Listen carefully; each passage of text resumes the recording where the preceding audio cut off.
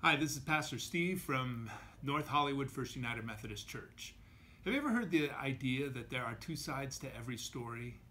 That there are two sides to every conversation? Or that there are two sides to every joke?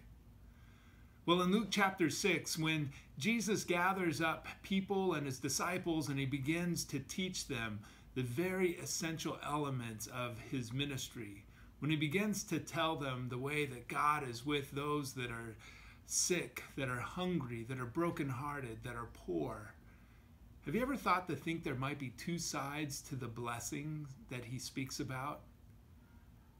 He goes on to say, Blessed are you when you are persecuted, when you are insulted, when you are reviled, and when you are cast out. We like to hear the blessings for those that are sick, for those that are hungry, for those that are brokenhearted, for those that are poor. We like the idea that God's grace is so inclusive and it gathers everybody in.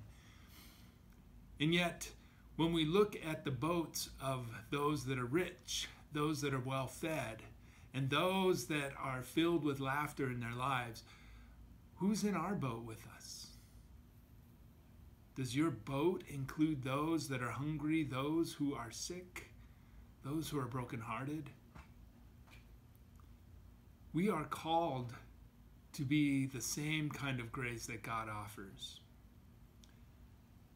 We're going to unpack this a little more on this Sunday at 10:30. I hope that you'll be there. And we're going to talk about what it means when we say we are blessed and what it means when God says the kingdom is yours. Hope to see you then.